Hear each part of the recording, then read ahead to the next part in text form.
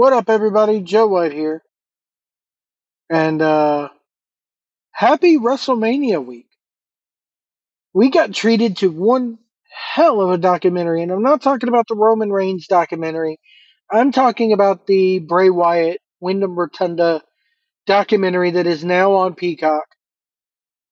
You need to go out of your way to see this. You need to go out of your way to see this. It is awesome. Um, I'll give my mini review of it. it. It's it's a if you don't if you don't finish that documentary and you don't have a lump in your throat at least or tears in your eyes or both, you don't have a heart, man. That documentary is so well done.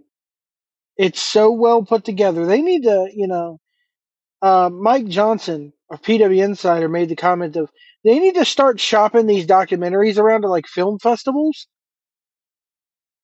and seeing if they can start winning awards because these documentaries that, that, WWE and association with Peacock is putting out are flat out amazing. I mean, they are amazing. Um, I will say that that they gave a lot more details and behind the scenes stuff than I thought they were going to. And that's all I'm going to say. Uh, the ending of it is great. The, there's a bit of an after credit scene. Don't miss the after credit scene. Um, the best way I could describe him is he was the modern day horror version of Andy Kaufman. Like, had so many ideas running around in his brain. And everybody, and, and they do say he, in, in this that he, he was difficult to work with at times, you know? But just mad respect to WWE, mad respect to everybody in the in the uh, Rotunda family for this. Uh, go out of your way to watch it. It's it's brilliant. It's absolutely brilliant. The only thing I wish they would have included is the a little bit of background on his theme songs, like the theme song that he had um, when he was the the Bray Wyatt Wyatt family character, and then his theme song when he came back. I wish we would have gotten a little bit of background into the choosing of those songs. Um, but that's just nitpicking for nitpicking's sake. Otherwise, documentary's damn good. WrestleMania is this weekend, and along with that comes a lot of press. And we got one hell of an interview from Ariel Helwani today with a one Mr. CM Punk, and Punk is making the rounds because it's WrestleMania. You got to do Radio Row. You got to do all this stuff. They're in New York, which is not too far from Philly. Um, I have a feeling that anybody who is at Raw tonight, and I'm recording this while Raw is going on. Hell of an opening segment, by the way. I can't wait to see how that plans out. Um, anybody who is at Raw tonight will probably fly home for Tuesday and Wednesday, and then Thursday morning, I think everybody gets to the hotel. Access is going to start, or WWE World will start. Um, Friday, of course, you got the SmackDown and Hall of Fame, and then Saturday you got NXT Stand and Deliver, you got WrestleMania, you got the Slammies. Uh, Punk said today he's going to be doing the pre-show, which is going to be freaking amazing to see. Um, I might actually have to watch the two-hour pre-game show both nights because we're getting Punk. Um, but he did an interview today, and I will link to it below if I remember to link to it below. If not, just look up MMA Hour on YouTube and watch that interview. They actually put the whole, they, they went about two hours. And he went into a lot of detail, a lot of detail. And, and, and basically, the shit that he said just further cements what Jim Cornette and Brian Last and myself and AC and my boy Hollywood Jeff Edwards. It's all of us. Everybody, you know, Dave Scherer from PW Insider has said this. It just confirms what we've said and what I have said all along. This man is a the Tony Khan. Tony Khan is a money mark who does not know how to run a wrestling business. And when he says, "Oh, people just want to see good matches," with those eyes bulging out of his head, Eric Bischoff is in this camp too. He said it too. I mean, Eric Bischoff is, is just right in there with us and Cornette and everybody else. Tony Khan just does not know how to run a business. He does not know how to book a show. He does not know how to write a television show. I mean, when when he he does not know how to be a boss. The man just thinks, "Oh, I got my wrestling company and all my money, and I I can't be the boss. I, I don't want to be that guy." He doesn't. It's not that he can't.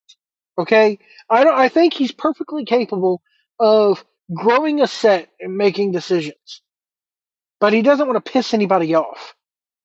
He doesn't want to have anybody. Heaven forbid somebody should say it's Tony Khan's fault. Tony Khan likes to put the blame on other people and put the responsibility on other people.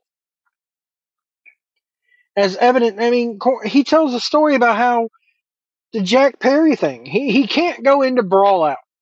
He can't go into the all out, the brawl out and all out thing. Other than that, though, I got the impression that anything else was wide open, and he went there. He went there on this whole firing.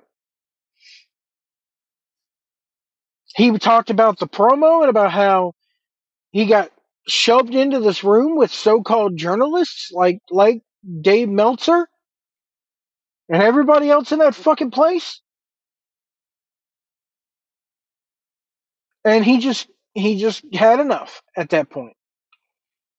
And said that everything was fine up until that Hangman Adam Page promo where Page just decided to go off script as my phone goes off. He just decided to go off script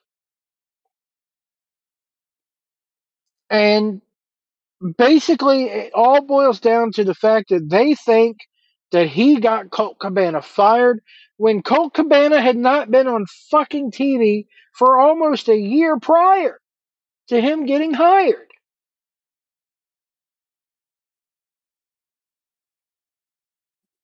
And he said that there was a time when Colt Cabana came up to him and goes, Hey, can we talk? So where maybe smooth things over to where things ain't going to be awkward. And Punk flat out said, I'm not talking to you unless a lawyer is present. And honestly, I can't blame the guy. Not when the same guy is telling people, hey, this guy got me fired. Why don't you go squawk about it to, to the so called wrestling journalists? Because that's what kickstarted this whole thing is Meltzer being friends with the Young Bucks and printing whatever it is they told him to print. It's bullcrap. It's unethical. As a journalist, Dave Meltzer, you are unethical. You are flat out wrong and unethical.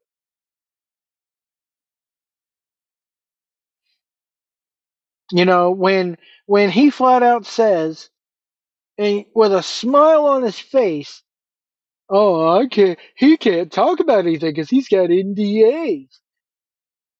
You're so giddy about the fact that Punk has an NDA. Well, guess what? The NDA must not cover everything. But Punk talks about how after the all out thing, he was injured. His tricep was injured. He can't say whether it was injured in the match or whether it was injured after the match. And that pretty much tells me that it got injured in the brawl out.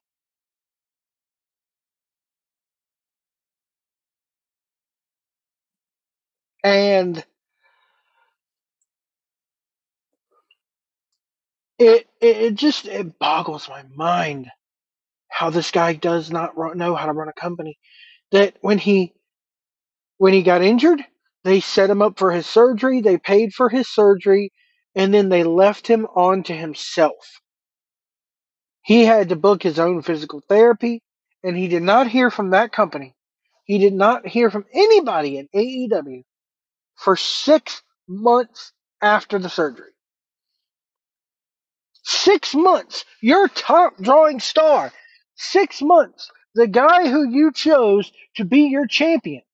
Six months. The guy who got injured, drawing you one of the biggest gates that he ever had. And you go six months without even as much of a hi, how you doing? Uh, Come on. Come on. And, and and this goes out to the Young Bucks. This goes out to Tony Khan. This goes out to anybody associated with that company. Come out and say something your own bloody selves.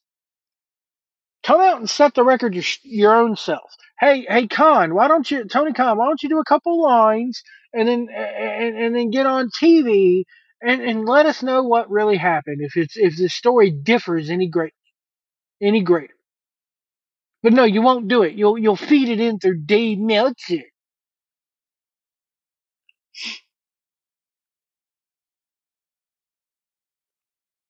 It's stupid. And then when they did come back, Punk wanted to quit right then and there. He's like, this two shows thing isn't going to work. It's not going to work. And then he talks about how the the the Jack Perry thing happened. That Tony Schiavone came up to him because yes, he was running Collision at the time. Collision was designed to be Punk's show, so Punk is kind of running the show and having to be what Tony Khan won't. Having to do the job that Tony Khan won't. And goes on to talk about how Tony Schiavone comes up to him and goes, Hey, I need your help with something. Jack Perry's cussing out doctors. Jack Perry's cussing out me. He's cussing out Tony Schiavone, who's a who's a producer, supposedly. He's cussing out doctors. He's cussing out security. He's cussing out for other agents.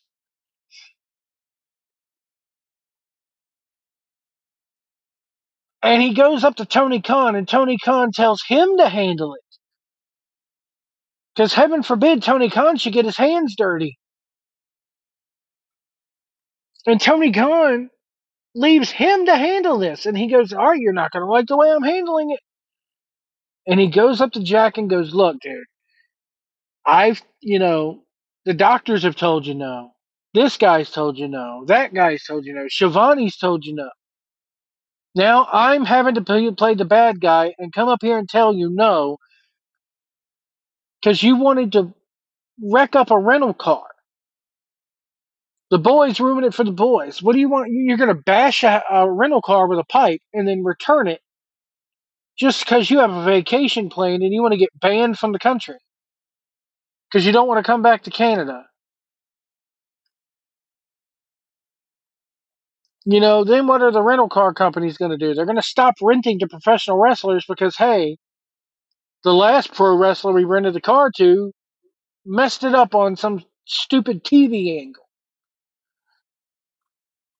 The doctors are telling you not to do it because glass could fly up and hit you in the eyes because the windshield does not break like normal glass does.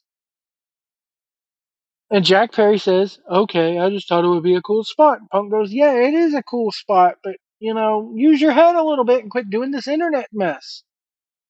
You want to do the internet crap, come to Wednesdays. You want to do real wrestling, you come here to Saturdays. And then the thing that all out happens, and Punk is in his locker room.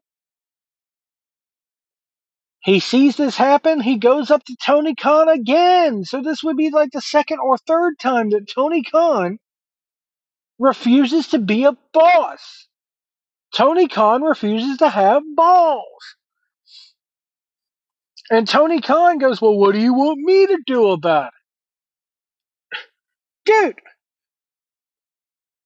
I'd be like if I'm if I'm the fry cook at McDonald's and I could see that we need more fries, and I go to the manager and go, Hey, can I can you watch this you know, we're out of fries and the manager goes, What do you want me to do about it?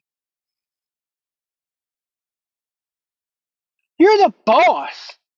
You say, hey, well, the fries are back there in the freezer. Go grab some. Next time you see them getting low, feel free to go grab some. If I'm Tony Khan, I'm pulling Jack Perry aside and going, what the fuck do you think you're doing? What I'm trying to keep the peace around here, and you're just riling stuff up. You're stirring up some crap. Stop. But no, it's all friends wrestling, and we got to keep the peace, and everybody's got to be just so happy, and we're a family, blah, blah, blah, blah, blah. I can't grow a set of balls and be a boss because heaven forbid somebody should dislike me in the locker room. You're not one of the boys, Tony Khan. You're the boss. Act like it. So Punk, after all this happens,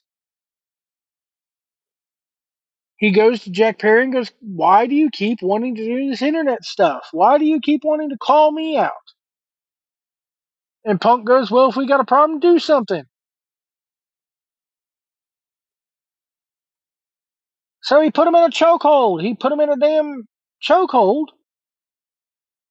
Samoa Joe's right there and says, Hey, stop, stop. We got a match.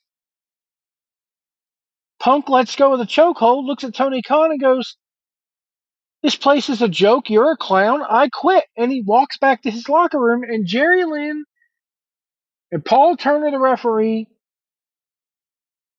and Samoa Joe had to come to his locker room and convince him to go back out. And the only reason why Punk went out there was is because, hey, I helped draw the house. I don't want to disrespect the referee. I don't want to disrespect Jerry Lynn, who's the agent, and I don't want to disrespect Samoa Joe. Plus, this is probably the last chance I'll ever have to, you know, wrestle Samoa Joe. Let's go out there, and tear it down, and they did. It was a good match.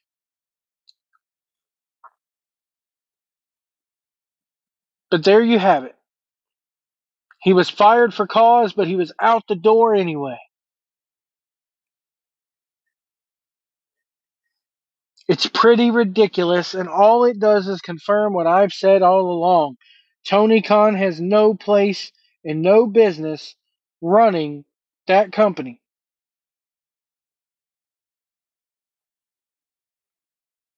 He he does not know what he's doing. He doesn't know how to be a boss. He Booker, okay, if, oh, maybe, but he needs to hire somebody to be the end all be all in that company and go, hey, Tony has given me free reign to do whatever, and I'm the boss. And it's you know, it's just like this shit with the indie show this past weekend. Wrestler A doesn't want to win the title, but Wrestler B doesn't want to put him over, and Wrestler C doesn't want to.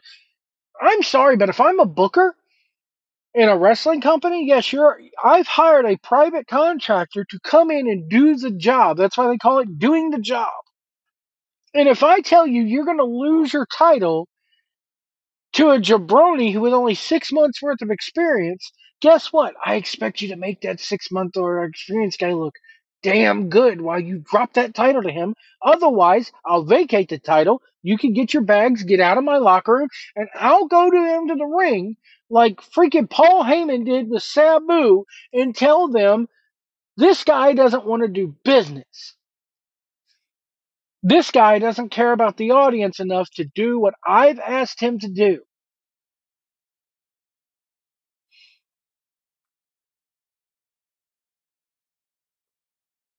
If you know, it, it's just Jim Cornette is so right when he says that, you know, as a booker, you need to do what the booker says or you can get the fuck out of the locker room. You can get if I heaven forbid I was ever a promoter. I've done my part by promoting the show. I put you on flyers. I've passed those flyers out. We've drawn a house. You're going to do me the respect as a professional wrestler and do what I've asked you to come here and do on my show within reason, of course. Or you're going to leave and you're going to get out and you're going to go away and I'll never book you again. And by the way, I will spread the word and tell people, hey, you may want to think twice before booking this guy because he doesn't always like to do business. But to, to have a kid, a punk ass kid, cussing out people like Tony Schiavone, you, you know, you're lucky Schiavone didn't just fucking goddamn go get you fired. And then, but but that that doesn't matter because because Tony Khan. Well, what do you want me to do? I want you to grow a set and be a boss for once.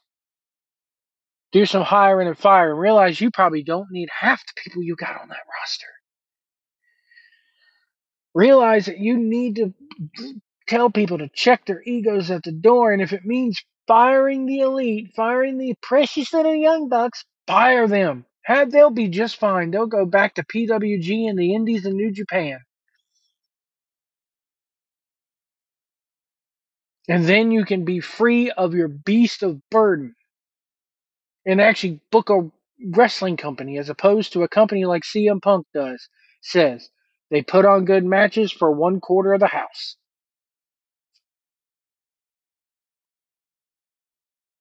Anyway, folks, WrestleMania is coming up. It's a hell of a build.